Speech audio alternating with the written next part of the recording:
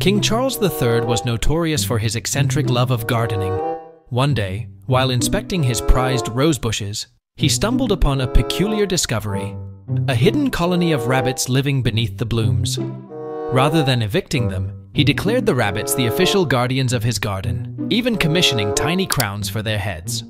The sight of rabbits hopping regally amidst the roses became a whimsical royal spectacle known only to a select few.